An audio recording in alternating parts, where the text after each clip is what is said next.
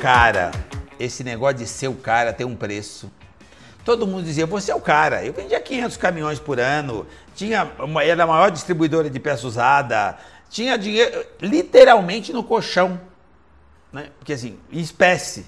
Então, todo mundo tinha tudo no topo. Tudo, meus, meus filhos andavam com segurança, com carro blindado, assim, sem noção, sem limite. E aí eu recebi a visita dos gringos e, pô, você é o cara. E eu achei que eu era o cara.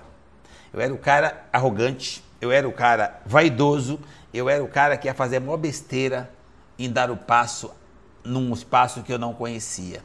Demora muito para você fazer um negócio, você aprender a fazer um negócio. Você vender peça não quer dizer que você sabe ser concessionário. Você ser concessionário não quer dizer que você sabe vender peça usada. Você vender roupa não quer dizer que você é especialista em e-commerce. Você precisa aprender e demora muito para aprender. Então, ou você precisa contratar quem sabe, aguentar bancar, financiar para aprender. Eu quis fazer tudo de uma vez e aí desabou. Mas assim, aí nós, nós, eu comecei a investir. A hora que acabou o investimento, eu comecei a tomar. Gente, lençol financeiro é lindo, agora tomar dinheiro. Eu comecei a tomar uma proporção muito acima do que eu acho que é o limite. Você tomar um pedacinho do seu patrimônio, 10% vai estar tomado. Se precisou, você paga, vende alguma coisa e paga. Agora que você começa a tomar quase que proporcional, ou, ou, ou acima de 20%, de 30% do patrimônio que você tem, você põe em risco os outros 70%. Foi o que aconteceu comigo. Começou a tomar, aí vem custo disso, custo daquilo, para isso. Aí do nada aquela porta que estava te dando fecha, porque o cara começa a achar que está no risco. E, começa a mexer com o emocional, aí você começa a se dedicar, perder o foco, porque você quer atirar para tudo quanto é lado. E aí, cara, nós quebramos de não ter dinheiro para pagar a luz, além dos patrimônios que começamos a torrar para tentar salvar o negócio. E aí voltei para minha origem, voltei para pôr o pé no chão, voltei para minha sucata, para minha reciclagem automotiva, que era meu porto seguro, e nós começamos a absorver todo o problema que tinha gerado os novos negócios e levamos novamente alguns anos para poder voltar.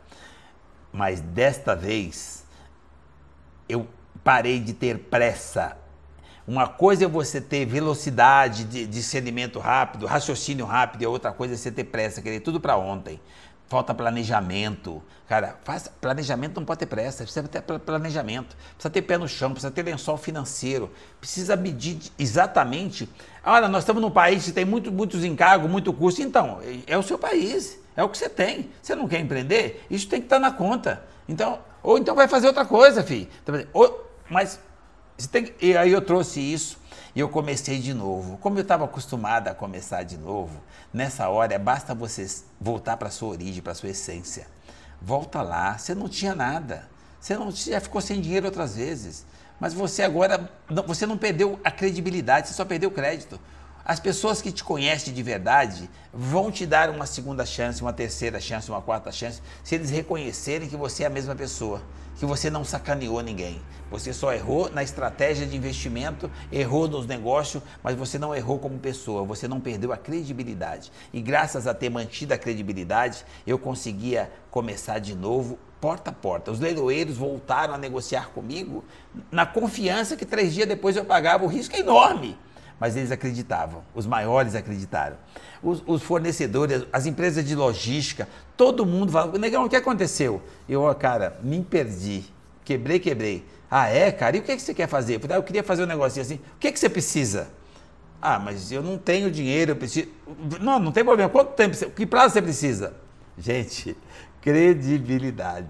E eu comecei a me reestruturar tudo de novo. E meus filhos ganhei um presente nessa, né, nessa situação. Porque meus filhos que tinham toda aquela situação de mordomia tiveram que voltar a trabalhar. Tiveram que bater ponto. E aprenderam no chão de fábrica, no lavador, empurrando empilhadeira. Eles aprenderam na, no chão de fábrica, aprenderam na raiz. O que foi o que ajudou quando eles quebraram ter grandeza para recomeçar.